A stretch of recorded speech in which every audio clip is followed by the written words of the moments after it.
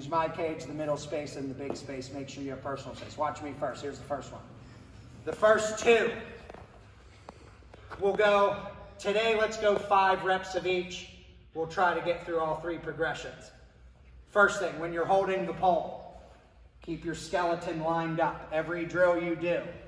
You see how my hands are like even with my armpits and my elbows are right across from my wrists. I'm not down, up, or misaligned. See what I'm saying? My skeleton's lined up. See what I mean?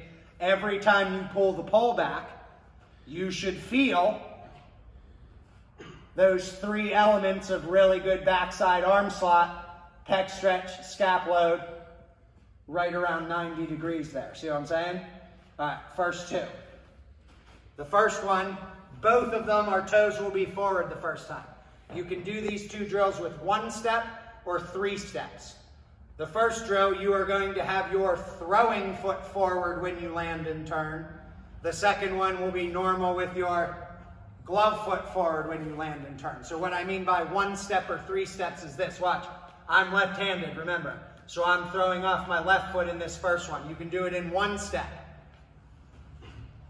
Or you can do it with one, two, three steps if you need a little bit more rhythm with it. You see what I'm saying?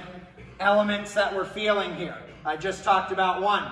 Every time you pull the pole back, feel that good arm slot back there with those three elements of good backside arm action.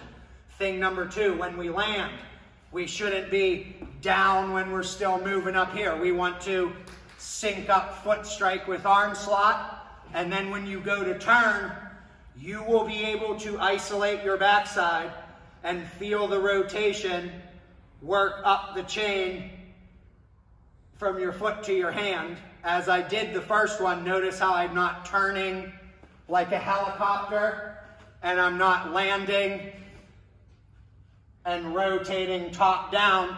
I'm staying in my hips when I land.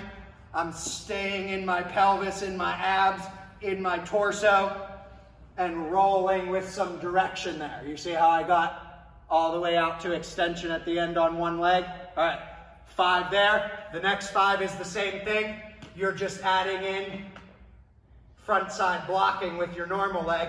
You're still turning the same way through your backside, but now you got to feel your front side stabilize it instantaneously when you land. See what I'm saying? Five throwing foot forward, five glove foot forward. I'll watch what you're doing.